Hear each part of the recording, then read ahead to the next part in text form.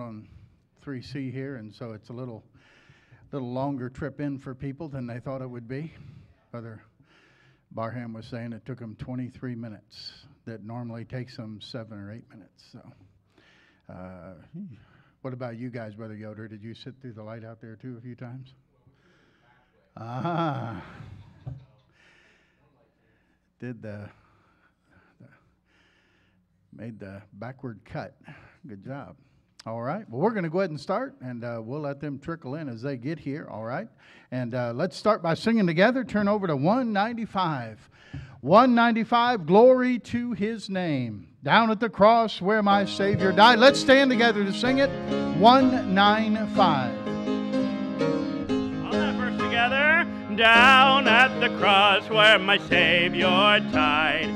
Down where for cleansing from sin I cried. There to my heart was the blood applied. Glory to his name. Glory to his name. Glory to his name. There to my heart was the blood applied.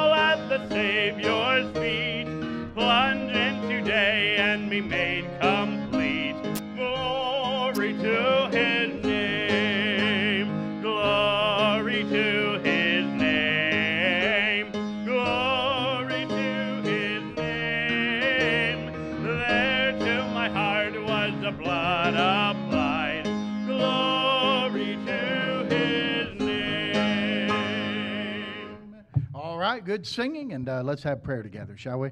Father, we thank you for another Wednesday evening to gather together.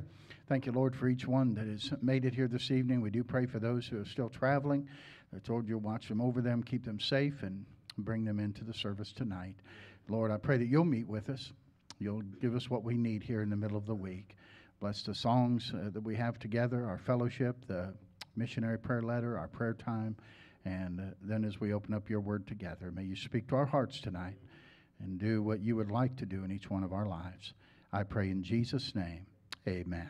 Okay, you may be seated. 264, if you would. 264, tis the grandest theme through the ages rung. He is able, he is able to deliver thee. Let's sing that first together. Tis the grandest theme through the ages rung. Tis the grandest theme for a mortal tongue. Tis the grandest theme that the world has sung.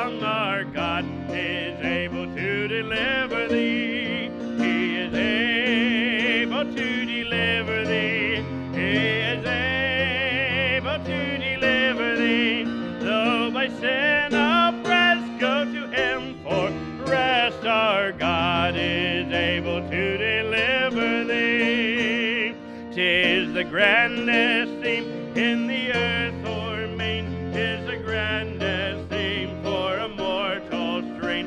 Tis the grandest theme. Let the world uh, can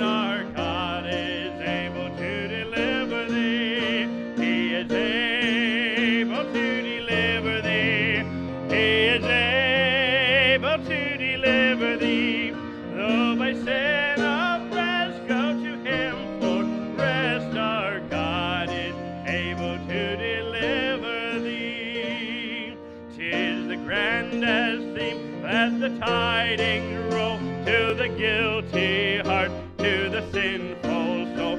Look to God in faith, He will make thee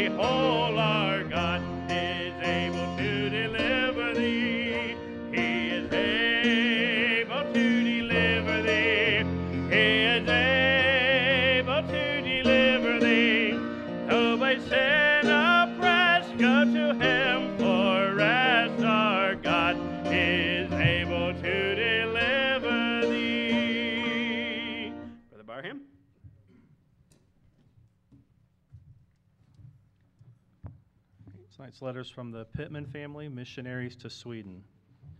Dear praying friends, we continue to journey down the road from state to state and meeting to meeting. In the past three months, we have presented the need of the Swedish people in Ohio, West Virginia, Kansas, Kentucky, Florida, and Michigan. God has allowed us to have overlapping conferences, which is a great blessing, but takes its toll on the family. Even though we try to travel together as much as possible, our children are attending Heritage Christian School at our home church. We are so thankful for the blessing of Christian School as well as for the six new supporting churches that we have agreed to partner that have agreed to partner with us in Sweden. The Lord has allowed me to come into contact with some young men going to Sweden, Norway, and Denmark. God has His time for each place. Even though we are not in Europe, we still go out soul winning because people are still lost and dying in the land of the free and the home of the brave. God has allowed me to lead people to Christ as we travel and go soul winning. Please pray for Alyssa in Ohio and Barbara in West Virginia to grow in the Lord.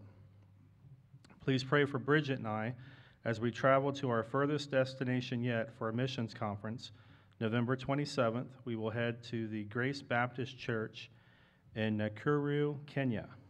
They have asked us to come and preach because out of their deep poverty, they know they must reach the world with the gospel of Christ. Again, we would appreciate your prayers for God's blessing and power on the preaching in Kenya and protection for Michelle and kids as we are away. We are also in need of continuing to fill our schedule for the upcoming new year. Our biggest request is that God would open the hearts of the Swedish people to receive Christ as their blessed Savior. We thank you for your faithful prayers and support as we continue to raise additional financial support during this transition. Your friends, the Pittmans. Pittmans, of course, for many years were in Ireland, and uh, they have turned that church over to a native Irish Irishman. Is that what you call that? Uh, from Ireland, and uh, he's now pastoring the church, and uh, the Lord has led them over to Sweden, and they'll be going there to establish a church and uh, plant one there. And so we praise the Lord for that. They're at a Cleveland Baptist Church up in Cleveland, Ohio. Um, all right, so we're thankful for that good report. Uh, prayer guide. Anybody need one? Everybody okay? Everybody got one? Good. Look at the prayer guide tonight, and uh, of course, start with the coming events. And uh, tomorrow night, Lord willing, we'll be at the CRC uh, prison, uh, ready to do the RU Inside down there. Friday night for Reformers Unanimous right here from 7 to 9 p.m. and Saturday morning out at London from 8:30 to 10:30. And of course, we'll have our normal uh, soul winning and bus visitation at 10 a.m. here on Saturday. And uh, then looking ahead, uh, just a note, I think that date's wrong, isn't it? The Worker Appreciation Thanksgiving service is not the, I think it's 24th, isn't it? The 24th is a Tuesday. I think 26th is Thursday. That should be the 24th. It'll be Tuesday night before Thanksgiving, not Wednesday night. Okay? So uh, make sure you make a note of that. I apologize that date not being right. And uh, so there you have the upcoming events. Now, uh, up above, underneath the uh, other requests, if you'd write down uh, Amy Lloyd, uh, Amy Lloyd's mother passed away yesterday. And so if you'd pray for her and her family, I'm sure they would appreciate your prayers during this time. All right? On the inside, uh, we praise the Lord for the wonderful Sunday with Turkey Dinner Sunday and the folks who received Christ their Savior and were baptized. And they had 19 at London on Saturday. And uh, the 11 returnees had 70 challenges they did. And uh, guys are really working the program and doing well. And uh, we praise the Lord for that. All right, so continue to uh, pray for those ministries and, of course, our church ministries and these on the uh, health list, if you'll remember them in prayer. And then, of course, we continue to pray for the, our leaders and those in authority, and uh, particularly during these days when we definitely need some leadership. We pray that God will grant us that. Uh, pray for our military and these battling cancer. And then, of course, these on the salvation list, praying for God to to, for them to listen to people who God brings across their path, be able to lead them to Christ. And then the unreached people groups, and we pray for these and for laborers to go to the unreached people groups of the world. And then the missionaries highlighted tonight by Brother Pittman and their family that are now going to a new field, the field of Sweden. All right? So we want to pray for these needs tonight. Brother Wallace, I'd like you to come if you would, please. And uh, he'll lead us in our prayer this evening. And uh, you follow along with him silently as he leads us audibly in our prayer tonight. Brother Bob. Let us pray. Father, we certainly want to uh, give you all the glory and all the praise for um, how our Thanksgiving dinner came out, and Lord, what a uh, great turnout. Lord, we want to continue to praise you for that because, uh, Lord, we depend on you to bring those people in and to uh, stir their hearts, stir their spirit. That, Lord, that uh, they would uh, have a desire to um, be fed your word and come back into your house and grow in your word. And Father, we just uh, rely on you to work on those hearts. And Lord, uh, it's you that adds to our church. It's you that, um, if anything comes out of this church that's any good, it's because of you. And it's, uh, Lord, just help us to continue to be faithful.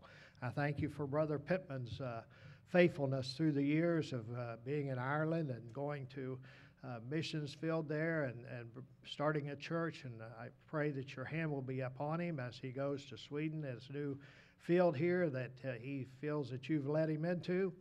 And Lord, I just pray that uh, you'll continue to bless there, help him to grow that church there. And Lord, we'll certainly expect to hear good things in the future about how your hand is upon the, that work uh, there and uh, for all the people that uh, are doing your work around the world. Lord, we continue to be blessed by the good reports that we have that uh, and how you work. And Lord, one day we're we're not even going to realize, uh, and we, we don't today, uh, the the great work that goes on around us in the, in the world today that we have no clue. Uh, but Lord, we we trust you, we love you, and we thank you again for all these works that you have uh, uh, allowed us to be a part of. Lord, I pray for these unreached people groups. And Father, uh, only you know how short the time is.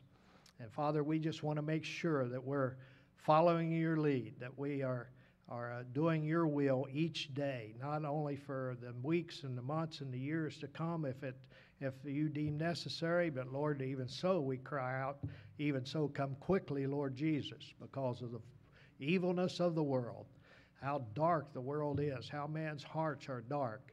But Lord, they were dark in the beginning, and they will still continue to be dark when you come. So, Father, we just pray that uh, uh, you'll have mercy upon uh, our, our, nation again. And Lord, uh, just be uh, merciful to us. Be merciful to the United States of America. Lord, I, I must uh, repent for our, our nation and how we've turned our backs on you. And uh, many times in the Old Testament, how one person was pointed out by you that caused Israel to sin. And Father, we, we want to be a, a church that you can't point a finger at us and say that we've caused the United States to sin. But we've stood up for that which is right. We've stood up for that which is good. And we stood up for that which is pure, which is your word. Lord, give us the strength to stay steadfast, unmovable, always abounding in the work of the Lord. Lord, we thank you for that. Father, I do thank you for the programs that go on at the prison and, and the uh, uh, ministries there, the RU ministries and RU ministry here that goes on in, on Friday nights. And Lord, we're certainly walking by faith and trusting you uh, the Lord, but we're, we're being faithful and going. As Brother Andy mentioned Sunday night, we, we were faithful. We did the work that you uh, uh, put us here to do. We, we go faithfully to these prisons and to uh, give the word to these, these uh, people.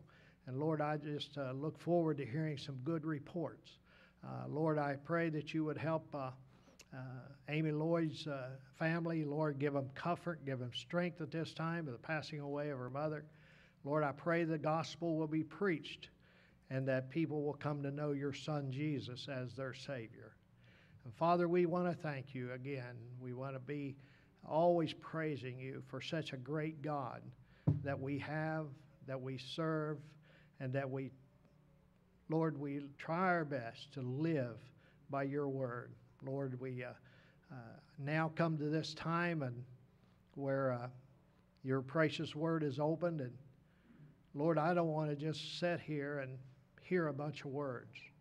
I want you to speak to our hearts and speak to our pastor's heart. Speak to each and every one of us, Lord, of, of uh, from your word. And, and, and Lord, let us know exactly what you would want us to hear as individuals tonight. Lord, you're a great God. We're all your children.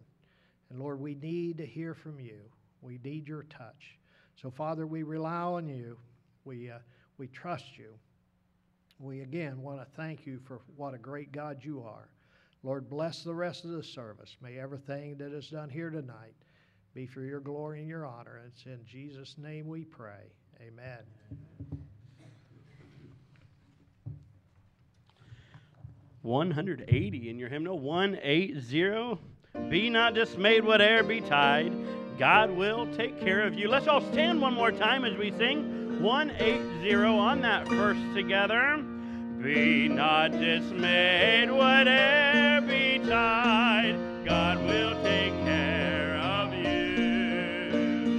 Beneath his wings of love abide, God will take care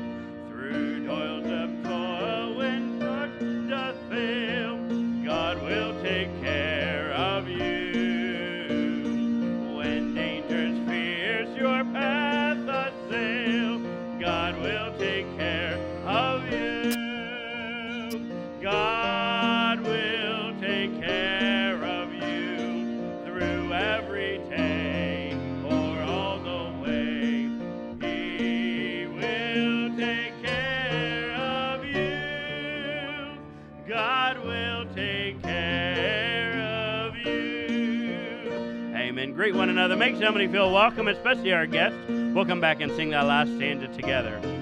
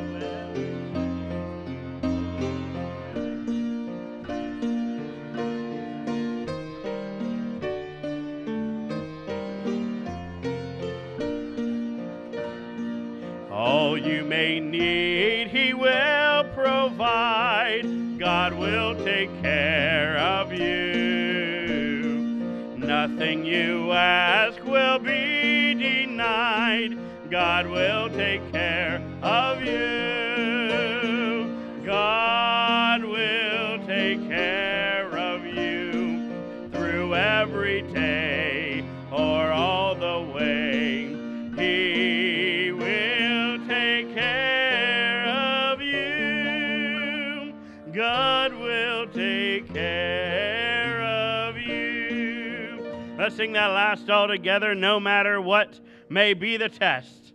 God will take care of you. Let's sing that last. No matter what may be the test,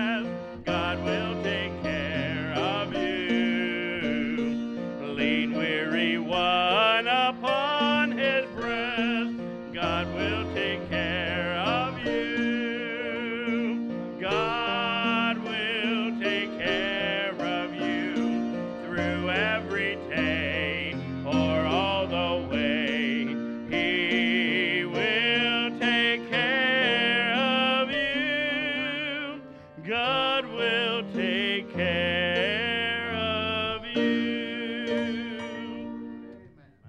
All right, you may be seated. Ushers will come and we'll get ready to receive our offering tonight.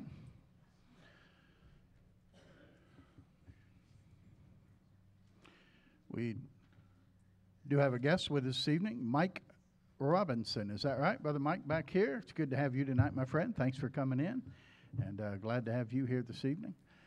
And uh, let's give as God has blessed us and prospered us. And Brother Polable, lead us in our prayer, please.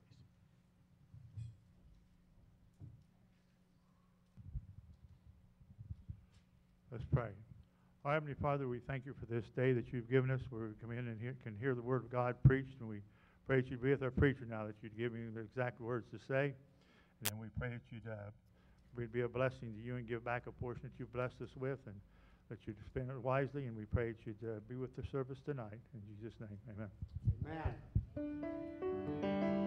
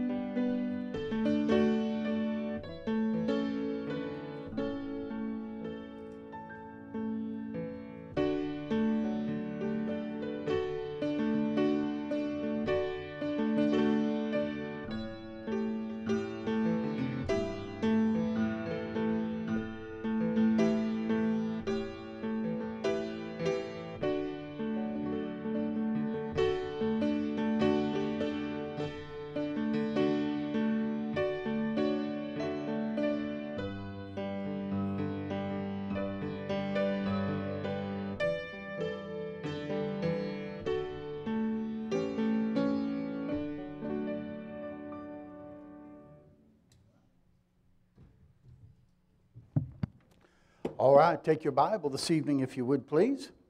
And, uh, 2 Corinthians chapter 4. 2 Corinthians chapter 4, if you would, please. And then you might put a finger in Acts chapter 20. Acts chapter 20. 2 Corinthians chapter 4, and then Acts chapter 20. We'll read 2 Corinthians chapter 4 first.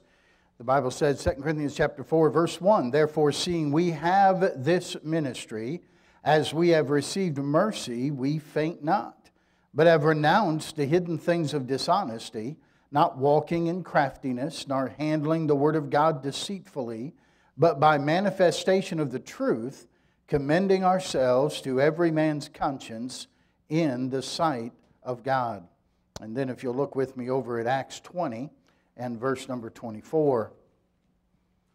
Paul writes in verse 24, But none of these things move me, neither count I my life dear unto myself, so that I might finish my course with joy and the ministry which I have received of the Lord Jesus to testify the gospel of the grace of God. Father, add your blessing to the reading of our scripture here this evening. And Father, I pray that you'll prepare our hearts and that each of us would, the best we know how, yield ourselves to you. at the start of this study together this evening. And that, Lord, help us to put out of our mind things that would capture our thoughts and, and keep us from focusing on what your word would say to us this evening. Spirit of God, speak to every heart and be the master teacher this evening. Help, help the truth to come across to each of us that we might finish our course with joy. In Jesus' name we ask it. Amen. The, the Bible makes it clear that each one of us has a ministry. Everybody here tonight, as a believer in Christ, I got, I got news for you. If you didn't know it already, I'll tell you now you're in the ministry. Okay? I know sometimes you look at preachers or evangelists or missionaries and you say, well, they're in full time ministry. That's kind of a, a misnomer because it, it gives the indication that uh, those who aren't pastors or teachers or missionaries that they're not in full you're not full-time ministry. You absolutely are full-time ministry and the bible makes that clear.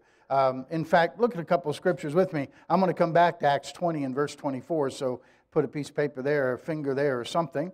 And um, look at uh, 2 corinthians chapter 5 you're in 2 corinthians 4 just one page over from that the Bible says, and of course, we're very familiar with verse 17 therefore, if any man be in Christ, he is a new creature. Old things are passed away, behold, all things are become new. Verse 18, and all things are of God, who hath reconciled us to himself by Jesus Christ. And now notice, he hath given to us, what's the next two words, church? The ministry. He has given to us the ministry of reconciliation. So every one of us have a ministry. All of one of us are in the ministry.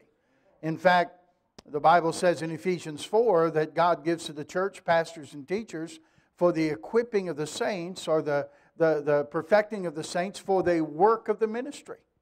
And so all of us are involved in that ministry. Now, the, the goal is to fulfill the ministry God's given to you. The goal is to finish the ministry that God's given to you.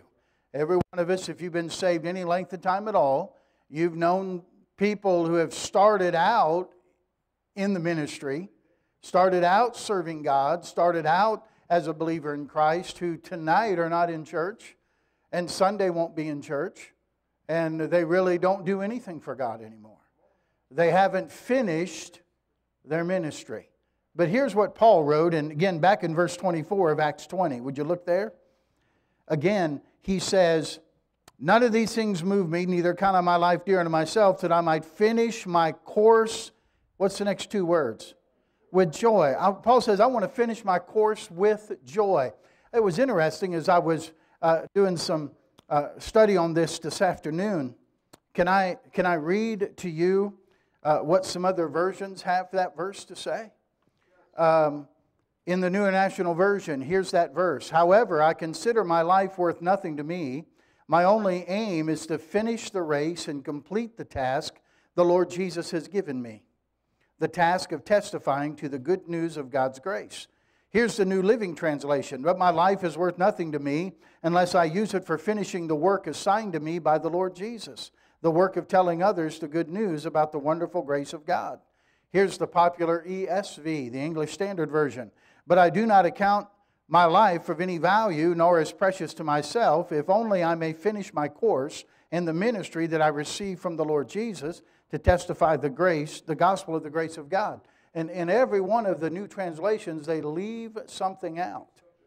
Did you, did you, did you hear what it was? Joy. With joy. There, there's no joy there anywhere. Did you know there's a difference between finishing and finishing with joy? I, I don't just want to finish serving God, I want to finish serving God with joy. Uh, you know, there, there's a tendency, don't raise your hand, but you know, uh, probably everybody here knows some grumpy old man. You know what I mean? And now, don't don't don't poke your husband, ladies. All right, but uh, you know, you say, "Yeah, I live with him." No, don't do don't do that. But you know what I mean? Just people, older people who just have been bittered by life. Don't be that person. And certainly as a child of God, we don't want to be that person. I don't want to, I don't want to go through my life. I want to finish my course. I want to finish my ministry, but I want to do it with joy. And that's the goal. That's, that's the goal that Paul had. He wanted to fulfill that ministry. Now, Satan's goal is to get me out of the ministry. Out of the ministry. He would like to get, see us where we don't serve God anymore at all. But if, listen, if that doesn't happen, at least he could get us to go ahead and serve God, but be a grouch while we do it. And be hard to get along with while we do it. And be difficult to have a terrible disposition while we do it. I, I want to have the right position, but there's nothing wrong with having the right position with a right disposition. That's quiet you don't have to be ornery and, and, and, and um, grumbling and murmuring while we serve the Lord. And so you want to fulfill the ministry with joy. Now, how can we finish with joy? What, what are some destroyers of the joy? What can take away the joy in our serving Jesus Christ? Well, the first thing is number one on your paper tonight is mediocrity. Mediocrity. You know what that is? Status quo. Well, that's okay. Well, it'll do. We use expressions like that for the work of God. But the Bible makes it clear that we're to whatsoever our hand finds to do, we're to do it with our might. What it means is you give it the very best you can. God deserves that. He deserves the very best. In the Sermon on the Mount that Jesus gave and makes up Matthew 5, 6, and 7, the, the undergirding truth there is, is very simply don't settle for average. Don't settle for doing whatever, what everybody else does. You've heard it said by them of old time, and Jesus would say that. He said, But I say unto you, and did he, did he put the bar lower or did he raise the bar higher? He always raised the bar higher. There's always a higher standard. It's not just to maintain, not just to settle, but always strive to be growing. Always strive to be improving. Now, to be sure, growth is never easy, and change is never easy. And it's less easy as you get older to, to allow changes to come. But I, I want to be I want to be a better pastor now than I was 33 years ago. I want to be you, you ought to desire to be a better I want to be a better husband now than I was 33 years ago or 36 years ago. I want to be a better, better father now than I was when I first became a father. Why? Growing, changing, allowing God to work in my life. But there's nothing wrong with you desiring, hey, are you a better choir member now than you were last year or two years ago? Are you, are you a better usher now than you were when you first started ushering? Are you a better nursery worker now than when you first started working in nursery? You see, how, how are you growing? How are you changing? Or have you gotten mediocre and just decided, oh, I'm here, I'll, that'll do? Or when you, whatever job it is you have to do, are you preparing your lesson like you used to prepare your lesson for Sunday school? You're preparing for your children's church like you used to prepare, where you're, where you're studying and seeking God? Somebody came to me the other day and said someone was interested in maybe having a class or teaching, but he said, I don't, they don't think they can do it. I said, Well, that's usually the kind that God will use. My experience through the years of the people who think they can do it, they fall flat on their face because they don't cry out to God and rely on God to help them do it. You, you think you can do it yourself, God will have you see that you can't, that, that won't work. So I want to be, I want to improve. I want to grow. I want God to change me. I want God to continue to work in my life. I don't want to settle for mediocrity. Okay? The now the way that happens is read, work, study, observe. Read, work, study, observe. Read the Word of God. The Bible changes you.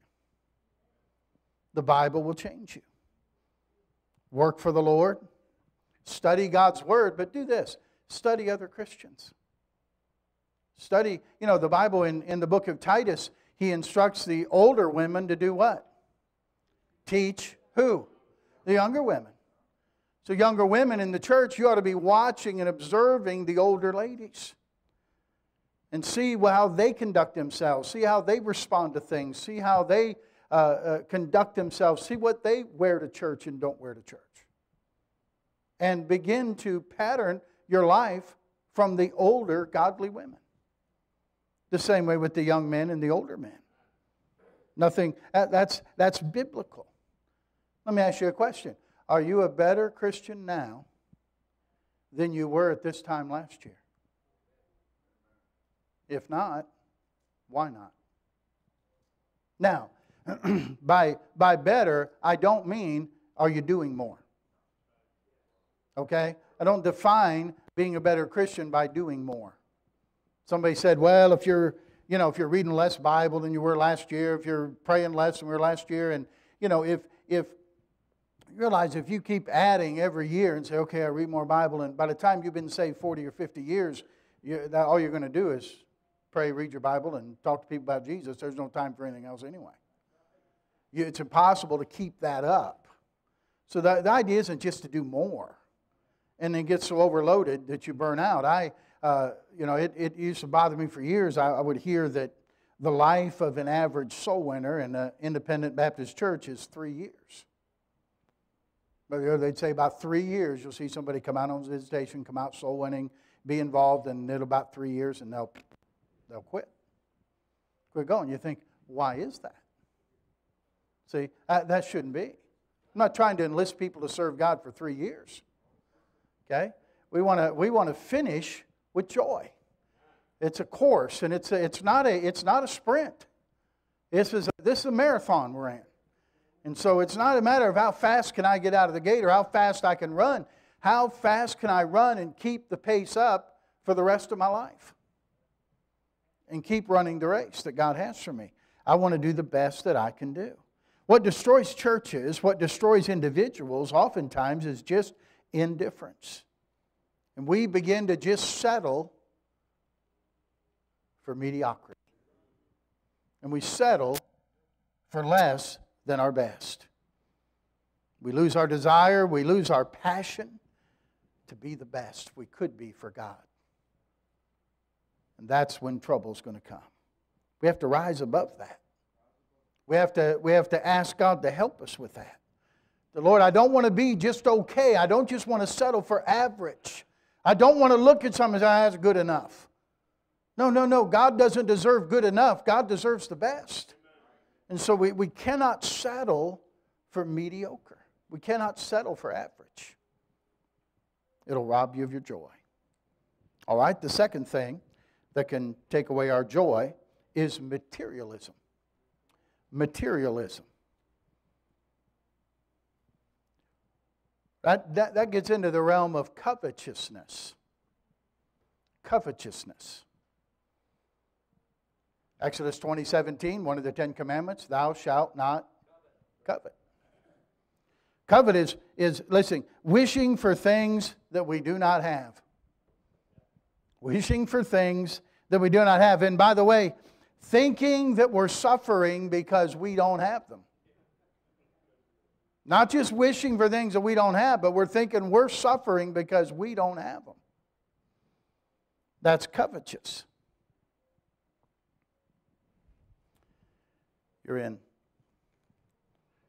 Go back to the book of Mark, would you please? Mark chapter 4. Mark 4 is uh, one of the accounts that Jesus gives of the parable of the sower. It's in Mark 4. It's also over in Luke chapter 8.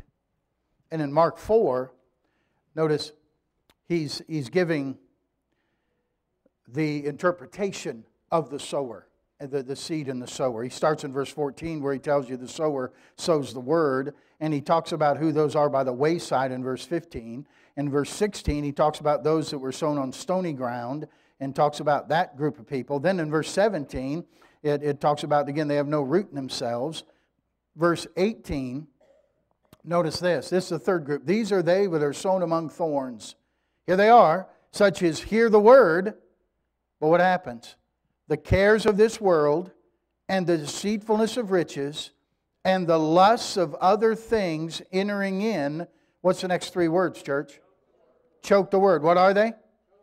Choke the word, and it becometh unfruitful. You know why? Sometimes you don't have any desire or no appetite for the Word of God. Cares of the world, deceitfulness of riches, and the lusts of other things have occupied you. And you're so full of those things, you try to put the Word of God in and it just chokes. You have no appetite for it. It'll choke the Word right out of your life. There's no room for it. In, in Luke, it says, They which fell among the thorns are they which, when they have heard, go forth and are choked with the cares and riches and pleasures of this life and bring no fruit to perfection. It's so easy to get caught up in the things of this life and neglect the things that are really important, which are the things of the next life. What do we get caught up in? Vehicles, houses, hmm? furniture, clothes, hmm? gadgets, computers, smartphones, iPads. We get all, all caught up in, in the latest gadgets we can get. Gehazi got caught up in the gold and the garments and everything that Naaman wanted to offer to his master, and he got to coveting those, thinking that he's suffering without them. And so he goes back to get them. You see, materialism. Materialism.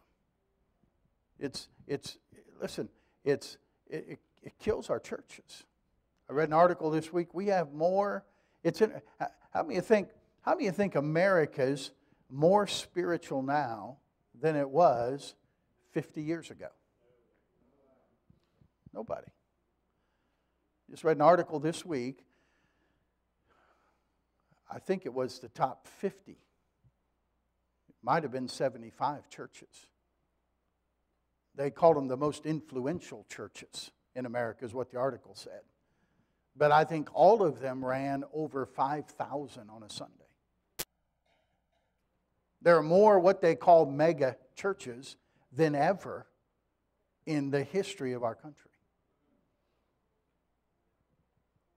Yet our influence seems to be less. So, do we step back and say, what's wrong with the picture? What's going on?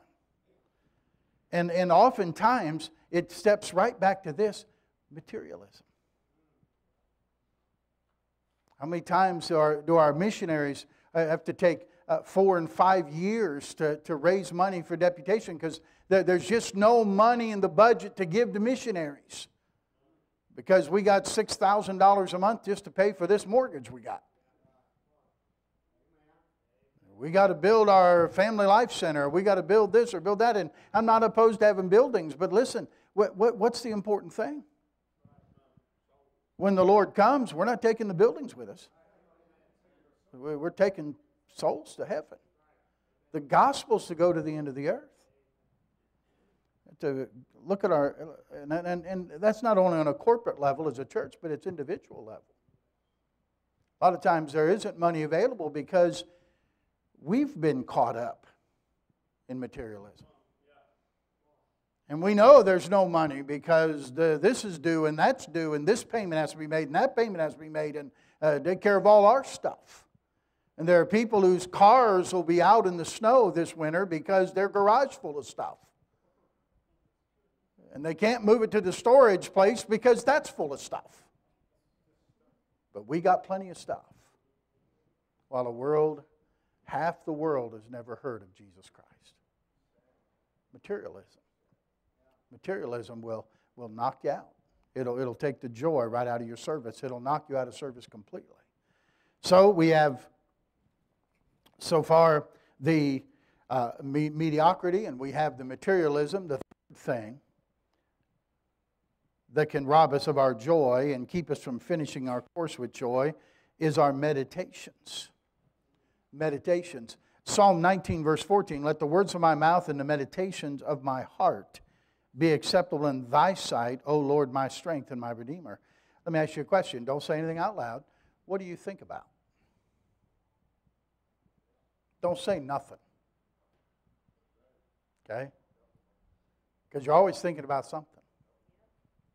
Something's going to occupy your, your, your heart. And we're not, we, we, think, we think we think up here, but really you think in your heart, in the core of your being.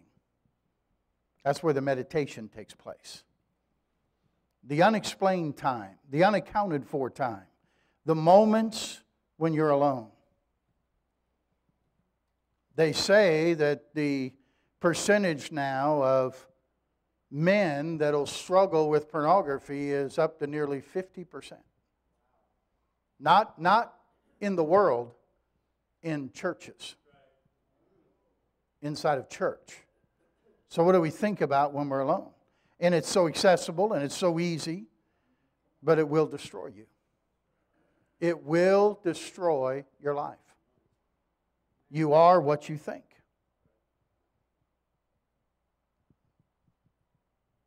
You overcome evil how?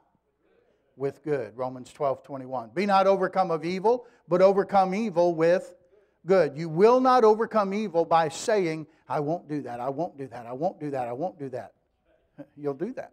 Why? Because you're thinking about it. You're keeping in your thought. You have to shove that evil out with the good thoughts. Stay busy doing what's right. Stay busy doing what you should do. Be accountable. You're always in trouble when you're off the radar. Nobody knows what I'm doing. Nobody knows where I am. Nobody, I'm unaccounted for. I can look at what I want, watch what I want, do what I want. Nobody knows it. Be careful. Be careful. You have to allow somebody in. Don't keep secrets.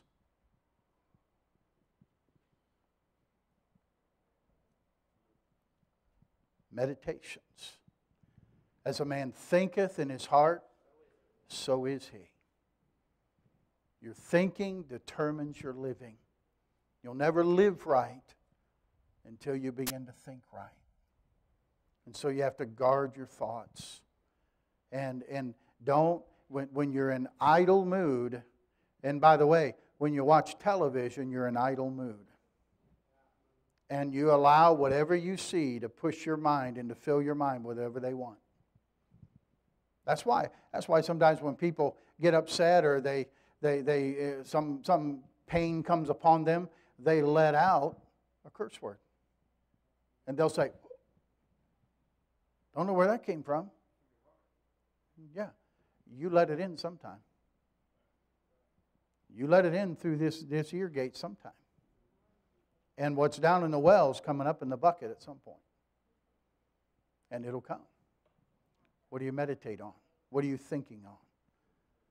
In the RU program, that's why they have the, the, med- the meditation cards. You write the Bible verses out. You write things on those cards and you carry them with you. Why? So that when you're standing in line or you're sitting in line or you have, you have time where, when your mind could just wander and think about something that you should not think about, you're not going to let that happen. You are going to fill your mind with good things. And you'll overcome evil with good. And so you have to fill your mind. That's what Philippians 4 8 is all about. Think on these things. When you think on these things, think of filling that, that, that battlefield of your mind and your heart with, with good soldiers. And as long as they're occupying the field, the bad soldiers can't get in. There's no time for them, there's no room for them. So we have mediocrity, we have materialism, we have meditations. Number four is maliciousness maliciousness. It's called malice in 1 Peter 2 and verse 1. In fact, you can turn there with me if you would, please. 1 Peter 2 and verse number 1. Wherefore, laying aside all malice and all guile and hypocrisies and envies and all evil speakings, has newborn babes desire the sincere milk of the word that ye may grow thereby. And again, it's, it's much like Psalm 1, verse 1 and verse 2 We, we like to go right to verse 2 and say, as a newborn babe desired the sincere milk of the world, word. But if you don't do verse 1, you'll never do verse 2. If you don't put away or lay aside the malice and the guile and the hypocrisies and the envies and evil speakings, you're never going to desire the sincere milk of the word that you can grow. You have to put off before you can put on. Now, malice is wishing bad for somebody else, it's harboring ill will for another. Now, that usually happens when you've been hurt. Hurting people hurt people. When you say someone just intentionally trying to say something that you know they're just saying it to try to hurt you, just step back. Instead of getting angry, instead of throwing back something that's going to hurt them worse, and just say they're saying that because they're hurting. And boy, if you can break through that and let them know, you understand, I understand you're hurting. Boy, sometimes that just breaks them because someone's not lashing out at them. See? And, and someone's genuinely caring about them. So he says, We put away the malice. Saul. Saul got hurt when he came back from the battle and they were all singing, Saul has slain his thousands, and he thought that was pretty good. But the song didn't end there, did it? No, David has slain his tens of thousands. Now, he got angry, but at first that he got, he got hurt. That they would love David more than they love him. And he got really discouraged. And he got hurt, and so he got very angry. And by the way, he lived the rest of his time angry, frustrated, bitter, suspicious, old man. He wasn't pleasant to be around at all.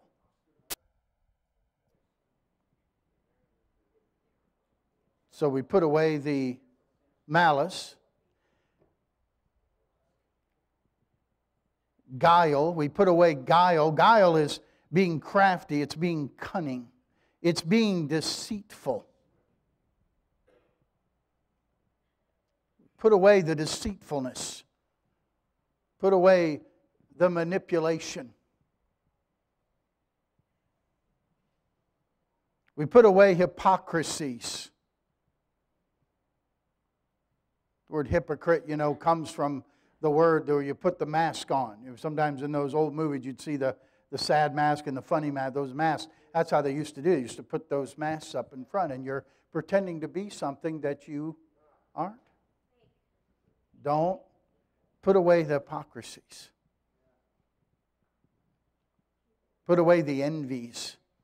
Envy is uneasiness, envy is discontent. It's discontent at the happiness or the success of others, of somebody else. That's envy. Envy is where, where you can't rejoice with somebody that's rejoiced. Somebody gets a blessing and gets a raise, or somebody gets a blessing and they, they're able to get some, some uh, material thing, and you think, how come I couldn't have one? Of those? How come I didn't get one of those? I didn't do that. And, and we get envious. Or, or they get recognized for doing something. And you say, Well, I worked just as hard as they did, and Pastor didn't say my name. You get envious over recognition. Envious that someone else gets recognized and you didn't. You see, put away the envy. Put away the desire, that, that discontentment when someone else gets honored, when someone else gets a blessing. And then he said, All evil speakings. Did you notice how many times, just in that one verse, all malice, all guile, all evil speakings? I think he's trying to emphasize something. Hmm? Don't, don't leave anything. Don't, don't leave anything. Get rid of it. Don't speak evil of somebody else. Oh, probably, you know, I was got. probably you could have a presidential debate over in about 30 minutes if we just cut out all the evil speaking. Don't talk bad about anybody else. And we'd, we'd, we'd cut, cut right to what, all we need to know. But listen, Christian, don't talk bad about somebody else. You have, you have uh, so many times we can say something and we have no idea what the other person's going through. We have no idea what they're dealing with. And, and, and so, we, when, by the way, we, we don't know. Somebody says, Oh, I know what they were thinking. You don't know what they were thinking. Because only God knows their heart. So you have to make sure that we don't have evil speaking. You have to put off before you put on. When you, if you harbor these things, not only will you never desire the milk of the word, but listen, these things will destroy you. Malice, envy, guile, hypocrisies, evil speakings, they will destroy your life.